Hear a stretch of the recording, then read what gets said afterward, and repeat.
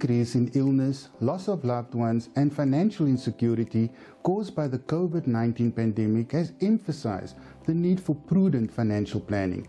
We believe that financial planning is a higher calling and therefore partner with our clients to prepare for the present, the future, and the next generation.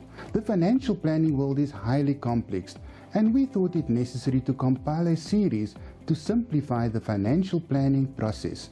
In this episode, I will highlight the elements of the financial planning process. The first step is to have a thorough knowledge of your existing portfolio.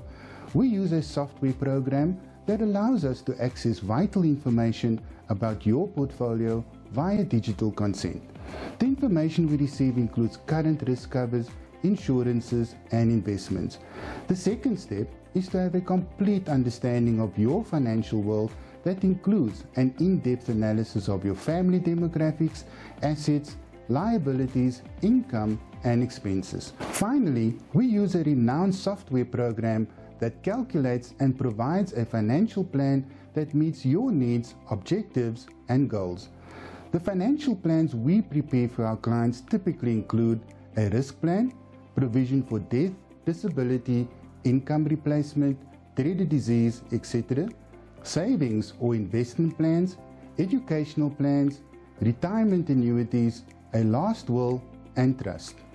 Phoenix Financial Planning Services is independent and contracted to all the recognized insurers. We can secure the best benefits and rates amongst our insurance partners. Importantly, we don't indiscriminately cancel existing policies to earn commission. We design to forge lifelong relationships with our clients.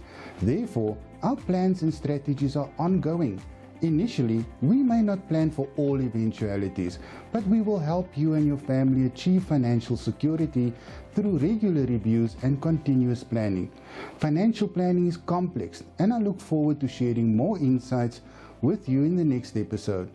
Our hearts and prayers are with those who lost loved ones during the pandemic. Thank you for viewing and remember to contact us for a no obligation consultation. Until next time, take care and stay safe.